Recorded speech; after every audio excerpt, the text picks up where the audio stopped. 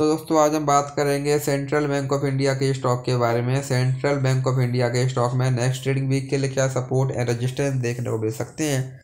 उसके बारे में आज इस वीडियो में बात करेंगे। हम अगर यहाँ पर स्टॉक की बात करें तो हम देखेंगे जो ये स्टॉक है। ये हमको पिछले एक लंबे समय से यहाँ पर लगातार क्लियर अप ट्रेंड में देखने को मिल रहा है। हमको स्टॉक में लगातार हाइयर हाई हाइयर लो वाला पैटर्न यहाँ पर देखने को मिल रहा है। हमको यहाँ पर स्टॉक में बीच बीच में यहाँ पर गिरावट भी देखने को मिली, लेकिन स्टॉक ने कभी भी अपने प्रीवियस लो को ब्रेक नहीं किया। और हमको यहाँ पर स्टॉक में लगातार तेज़ी ही देखने को मिली है। आज भी हमको यहाँ पर स्टॉक में zero point nine two percent की यहाँ पर तेज़ी देखने को मिली है।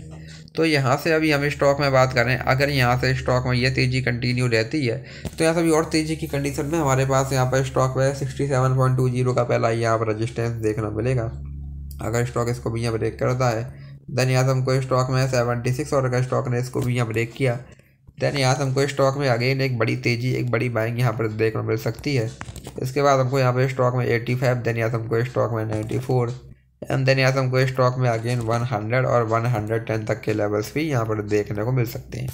वहीं यहाँ से अब अगर स्टॉक में गिरावट आती है तो यहाँ सब गिरावट की कंडीशन में हमारे पास यहाँ पर स्टॉक में सिक्सटी फोर का पहला यहाँ पर सपोर्ट देखने को मिलेगा।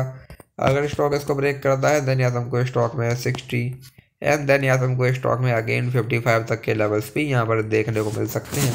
एज ए नेक्स्ट यहाँ पर सपोर्ट तो ये स्टॉक में कुछ इंपॉर्टेंट लेवल्स हैं, आप इन पर ध्यान दे सकते हैं। बाकी वीडियो में कोई बाय सेल होल्डिंग सलाह नहीं है। वीडियो केवल एजुकेशनल पर्पज़ के लिए धन्यवाद।